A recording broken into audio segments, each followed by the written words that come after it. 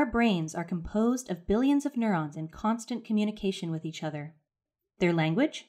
Electrical impulses. A disruption in this typically balanced signaling network, however, can result in abnormal discharge, an electrical storm of sorts, in the brain. This is what causes seizures. Epilepsy, a neurological disorder marked by recurrent, sudden seizures, affects millions of people worldwide. Unfortunately, for nearly one third of these patients, medications don't work. Surgery to remove the affected area is a potential treatment option, but carries high risks when it involves critical parts of the brain that control memory, language, movement, or vision. Enter brain responsive neurostimulation. Studies have found that delivering a brief electrical signal to targeted regions of the brain can be a safe and effective treatment for epilepsy patients.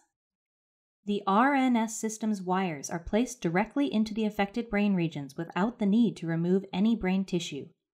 The neurostimulator, implanted in the skull, is then able to sense abnormal electrical activity and respond by sending pulses to counteract these events, without the patient feeling a thing.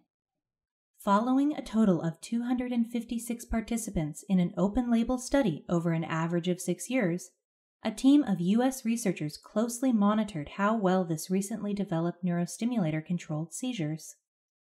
The study population included 111 participants with seizures originating from the mesial temporal lobe and 126 from the neocortex.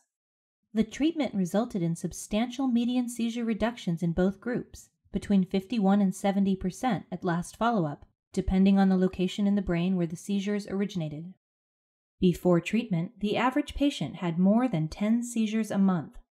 During the trial, 26% of neocortical and 29% of mesial temporal patients experienced at least one seizure free period that lasted six months or more, and approximately 15% of patients in both groups went one year or longer without a seizure. The study found that the stimulation treatment was not felt by patients and did not cause acute or chronic neurological deficits, even in eloquent cortical areas.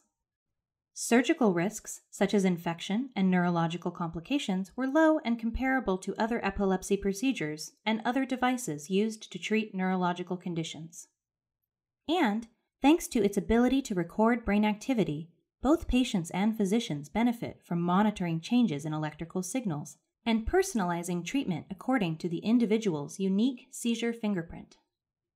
The long term study continues to suggest that the RNS system is a safe, reversible treatment option for adults with partial onset seizures that can result in substantial seizure reduction.